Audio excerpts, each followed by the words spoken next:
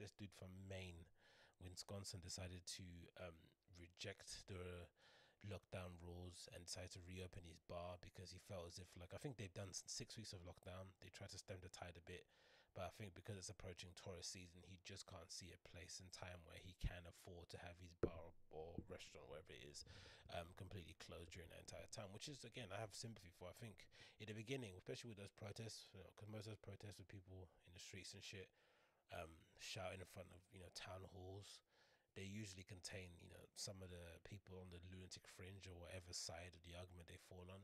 Um, people that want to stay in forever and the people that want to go out instantly now with no clothes on. They're, you know, equally as crazy. But I think those protest videos don't really represent, don't they don't articulate their point well enough in terms of like why are they protesting the nationwide lockdown. Um, but I think some of these people that own their businesses and want to reopen again, like the woman that had a hair salon that got arrested, they've articulated it really well. Like, you know, like we're willing to take the risk we, we, we don't mind opening up at 20 30 40 50% capacity but they just want to be able to make some kind of living and they don't think it's const- it's constitutionally correct for them to be you know denied the fact that denied the ability to make a living to support their family put food in a plate especially if you're in a position where you're told to close and then you're told to close and then you're told to close and if you want to make money if you want to get that money back that you've lost go on benefits you apply for benefits because all that years you've been working it probably is going to affect your benefits and you won't get that much anyway because they'll just see from your tax returns that you've had a business that's been grossing an X amount. So it puts you into this weird loop where you're essentially just handcuffed to the government and they're having to decide when they can allow you to go back to making money to feed your family, which is incredibly nuts.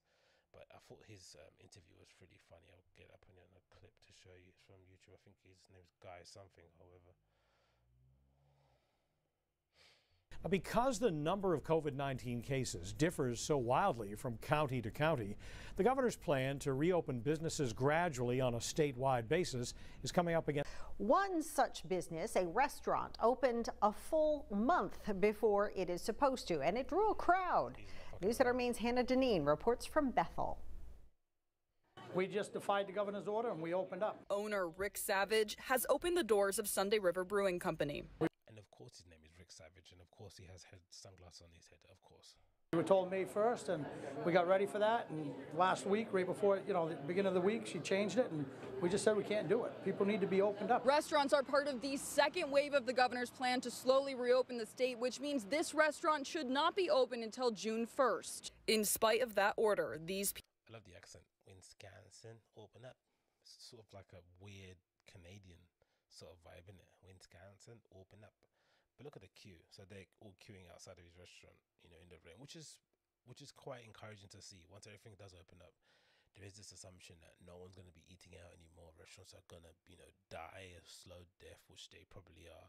But I think if you can survive and hang on to dear life, I think the your local community or power or punters in general will want to um, see you win. So you're going to see a lot of kind of goodwill towards restaurants, people just booking, you know, seats to sit at their local or sit somewhere that they've always wanted to sit and grab a meal with their friends, whatever it may be, just to support them and make sure that they can survive another two, four, six, you know, eight months. Um, so that's pretty cool to see. Like they're all queuing in the rain out here to see this restaurant. People, most of them not wearing face masks, came from across the state and beyond to express their support. You can't keep people cooped up. This is America. We need to be free. What is there to be afraid of? I don't fear the flu. I don't want to get it. I don't want to get this. But no, we've had it. Enough is enough. It's unclear. And even though it's, you know, it shouldn't be a political issue, it has turned into it every, across the world. You know, politicians are essentially fighting um, for the right to not be painted as some sort of you know coronavirus serial killer. No one wants to have that kind of blip on their CV. No one wants to be remembered as a person that essentially you know um, uh, was essentially in charge when you know people's grannies and granddads were dying. No one wants that. But I find it interesting observing from the outside in America, especially, or outside in looking at America, that most of the people that are um, for the opening up of the states and people going back to normal are, you know, it seems like, especially from the media, they are predominantly, Republicans and they lean towards supporting Trump at all costs. Like you just look at this video and the amount of red hats in this queue is just obscene, right? Everyone's sort of like MAGA and Trumping.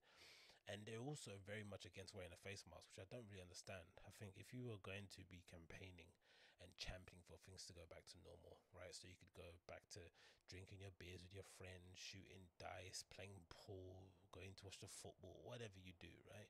wouldn't you want to get it done as quickly as possible? That would mean by making sure no one around you gets sick, or by at least trying to obey some sort of kind of like general rule to make sure the spread doesn't doesn't spread so quickly. Because you, you do the same if you got a cold right? I don't know if people are the same but if you had a flu or a cold you generally stay away from people.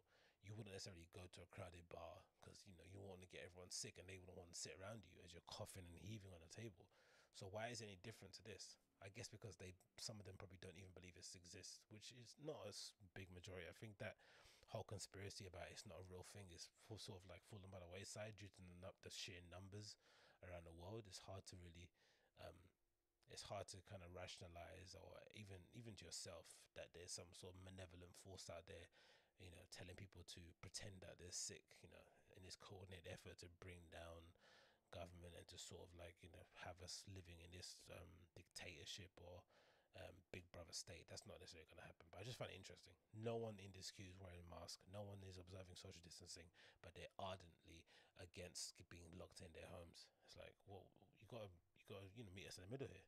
Clear how or if law enforcement will react to the defiance of the governor's orders. As for Savage, he says he's prepared for fallout. We feel she's going to arrest me today for violating the order, and, and, and frankly, we don't care. In Bethel, Hannah Deneen. Fair, fair play to her, fair play to him, sorry. Um, he's an absolute psychopath, but I like it, man. I like the approach. I'm interested to see what's going to happen next. Um, it's disappointing that it's not the politicians who are, you know, being flexible and trying to see how they can reopen.